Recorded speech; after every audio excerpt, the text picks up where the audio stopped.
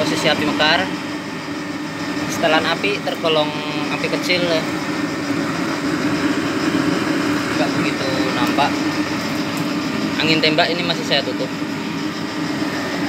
Untuk konsumsi bahan bakar ya kurang lebih di satu seperempat liter lah per jam. Antara satu satu seperempat per jam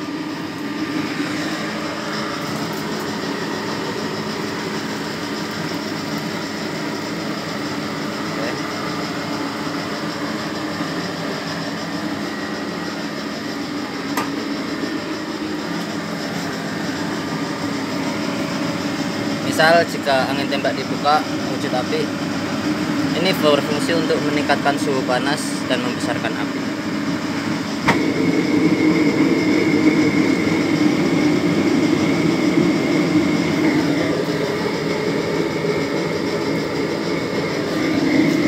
Tutup lagi.